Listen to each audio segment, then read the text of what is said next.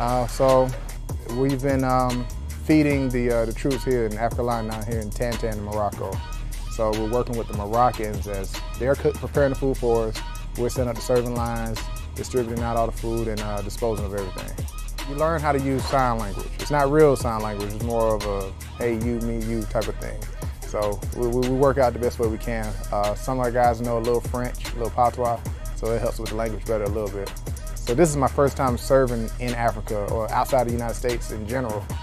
And it's been, it's been going pretty smooth. We had a couple hiccups with dust storms, but um, me and my team, we, we worked it out the best we can and people are happy. Civilian career, I'm an assistant supervisor at a recreational facility down in Tallahassee, Florida. Uh, with having young soldiers, you learn how to talk to them, and also I can talk to the youth at my, my center as well. And then on the civilian side, I can inform the youth of uh, other options outside of college and, and, work outside of high school. You can look into the military, and they know somebody that's actually been through the same things that they've been through.